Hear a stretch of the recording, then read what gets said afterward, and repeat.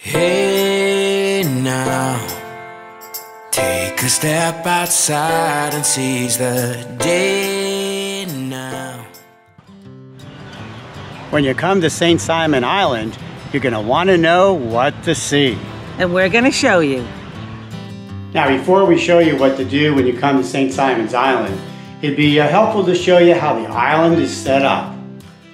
Now the causeway that brings you into the island is over here and that runs right across and brings you down to the southern part of the island. The village area and pier and where we stayed and the lighthouse is all down here in the southern tip of the island. Now along this side you'll find all the beaches on the Atlantic Ocean and this is where you'll find East Beach and there's multiple points of beach access uh, along this area. And the parking is free. As a matter of fact, the whole island, the parking is free. Now, up in the northern area, you'll find some of the historic sites, like this is where the Bloody Marsh is. This is where the slave cabins are. And way up here is where you'll find Fort Frederica, which is actually a national uh, monument. It's a part of the national park system. And in the middle, they actually have an airport. So it's a private airport, so if you have your own plane, you can fly right in and skip the drive. All right, so let's get into what you can see and do on St. Simon's Island. So one of the best beaches to come to is East Beach, which is a little over a mile from the uh, area of the pier. We're gonna go check it out right now. And there's plenty of free parking and a bathhouse with public restrooms. So this beach is on the east side of uh, St. Simon's Island and uh, is right on the ocean. So it looks like it's probably like one of the bigger beaches that we've seen so far. I think this would be the main beach to come to if you're staying here for, uh, for the beach.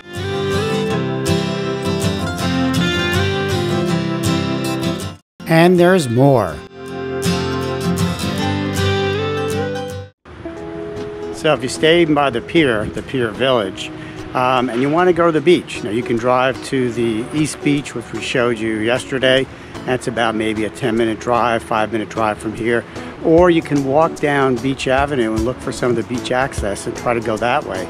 The only thing is you have to go during low tide because during high tide the beach is pretty much gone if you go uh, down that way from the beach access here at the uh, Pier Village area. So, but we're going to try to take a walk there now because that's low tide. So we're staying here at the village right across the street from the lighthouse. And you can see all these numbers. These are all the spots for beach access. And it looks pretty generous. There's a lot of them going all the way up, all the way up, all the way up. And continuing up to uh, East Beach where we were yesterday. And that does have a big parking lot if you want to drive there. And that was probably maybe about a five, 10 minute drive from the village where we're staying. We entered the beach at beach access point number 11, and since it was low tide, there was plenty of beach to walk on. We walked one and a half miles north, which took us all the way to East Beach. And along the way, we passed some beautiful homes. There's some beautiful homes on this beach. What I don't know is if any of them are for rent.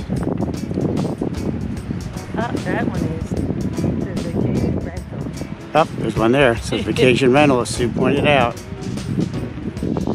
This oceanfront property is yours to rent.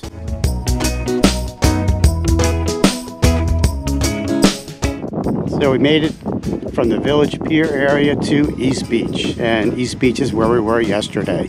So let's find out from Sue how long the walk was. So Sue, how long was the walk? A mile and a half. A Mile and a half, not bad.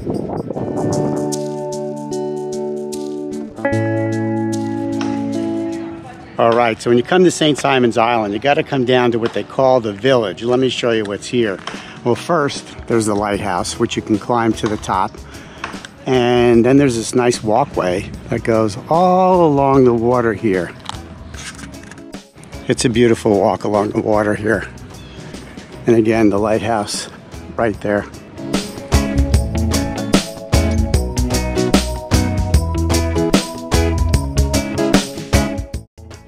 There's also a really nice park, playground, and open areas under the trees. There's even outdoor barbecue grills right under this great 200 year old oak.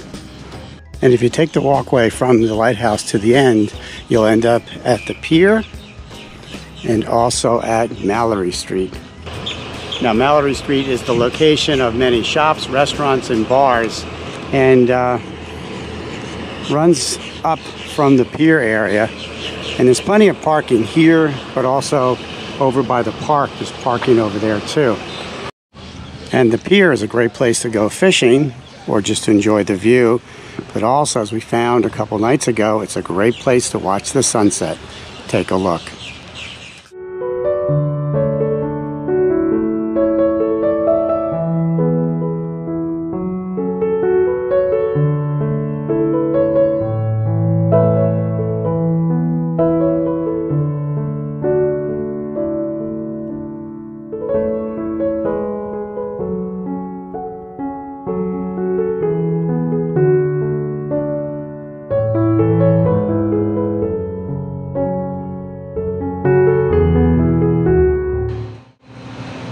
And get this, the parking down at the pier in Mallory Street is always free.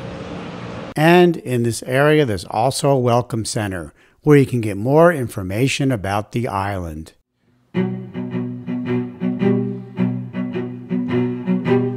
So when you come to St. Simon's Island, take the time to visit some of the historic sites. And there's no better way to explore the island here than in the Spider.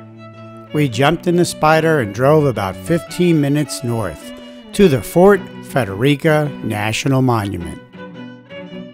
There's no admission charge and parking is free. Okay, we made it. We're at the Fort Frederica National Monument, which is part of the National Park Service. So, the significance of this uh, spot is that, um, if you remember, uh, James Oglethorpe founded Savannah back in the 1700s. After he did that, he realized he needed to do something to protect the city. So, at this spot, he actually built um, some fortification to uh, fend off the Spanish, which were just south of here in Florida. Um, so the British were up here under his uh, guidance, and down south was uh, uh, the uh, the Spanish. So we're going to walk around and see what remains of his community and fort that he built here, again to protect Savannah. So this land was actually not just a military post; it was actually a military town. And Oglethorpe brought in all the people needed to make a town. And it, again, this was back in the 1700s. And there's, this is an active archaeological site. And uh, we're going to take a walk through this. It's really beautiful. Look at, look at these old live oaks. I mean, these are probably 200 years old easily. But there's a visitor center here, there's a movie, information, they give you a map, and then you're free to just uh, do a self guided tour of the entire area absolutely gorgeous. So this is the beginning of the town. This is Broad Street. This was Broad Street. And the town was on the left and the right of Broad Street with the fort on the river straight ahead. So back in the day, this was the main center of town. As you walk down Broad Street on the left and the right, you'll see the foundations of the homes. And on the outskirt of town, you'll see what remains of the soldiers' barracks. And here's a bit of trivia all the foundations were made with tabby concrete. So, this foundation is called tabby, and it's made of sand, lime, and oyster shells.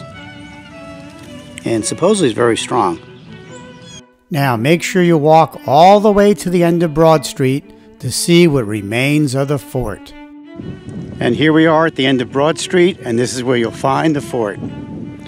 So the only thing remaining is a small section of the fort.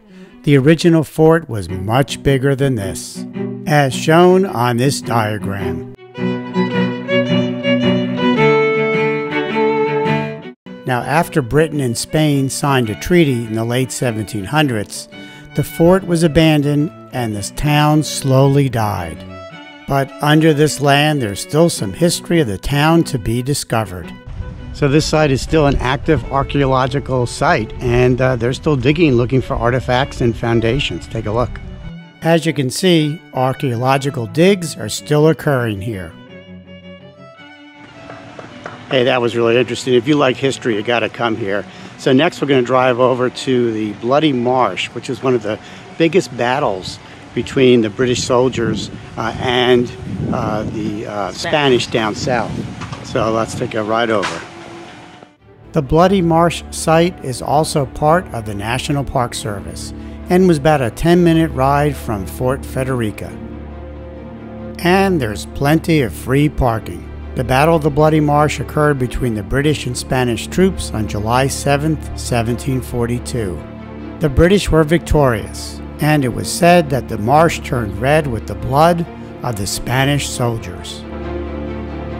Next up, we drove to the west side of the island to check out the Hamilton Plantation slave cabins. This land is owned by the local garden club, and we contacted them and they provided us with a tour. The link to the garden club is below.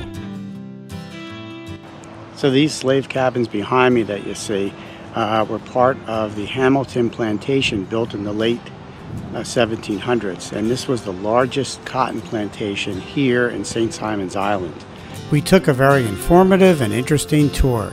Many thanks to the Garden Club for opening their doors and providing this tour.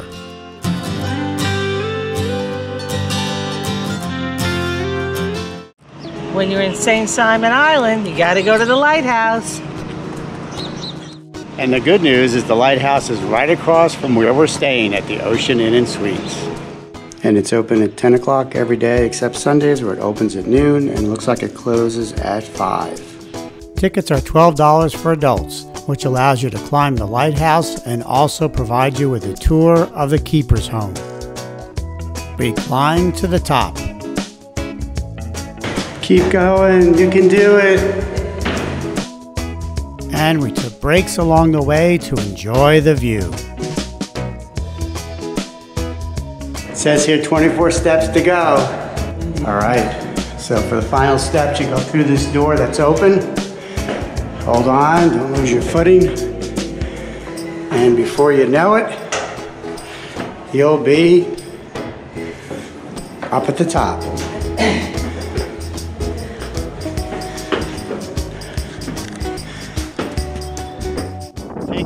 This view.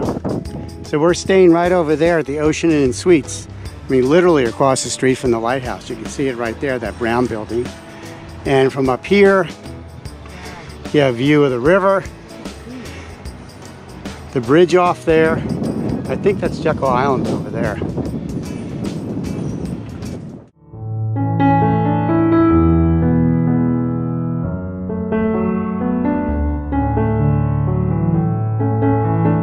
So after enjoying the views from the top, we took a self-guided tour of the keeper's home. That was definitely worth it. I'd say the lighthouse is a must-see when you come to St. Simon's Island. Would you agree? Yes, I would. Now that's a wrap, and next week we'll give you some suggestions on where to eat when visiting St. Simon's Island. But as you go around the island, keep a lookout for the tree spirits. Until next time, safe travels.